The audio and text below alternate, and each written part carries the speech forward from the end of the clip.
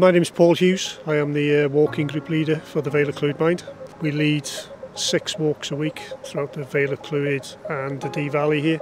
Um, I chose to become a Denbighshire Tourism Ambassador because it just gives you more information. It's always handy to have more knowledge about when you're leading people on walks and taking people around the different areas. It's always nice to have a, little bit of extra knowledge. And of course, the course is free as well, which always helps. And you can do it at home over a couple of evenings a week, so it's, it's brilliant. The online modules were very good. I, I like the, the video elements at the front, and um, they're all well done, and the questions and the information that was given was really good. And it's lovely to have different ones in all the different towns throughout the Vale of Clwyd as well, which is great. It's just learning something different about the places that I go to on a day-to-day -day basis, and there's stuff that I was unaware of, and now I am, so that's always a good thing to have.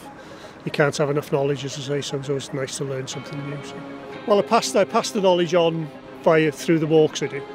So it's always handy. I think people like the idea. They like to come out and learn new things themselves. So everything I've learned from the from the course I've passed on to the people I meet during the week on the walks. We live in, well, I think the best place in, in the world. And uh, and I'd like to pass that message on to people and you know, come down here and enjoy what we've got because it is a fantastic place to be.